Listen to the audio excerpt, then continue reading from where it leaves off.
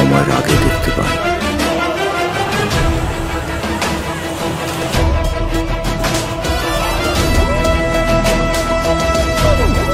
মনে রাখবেন স্বপ্ন পূরণ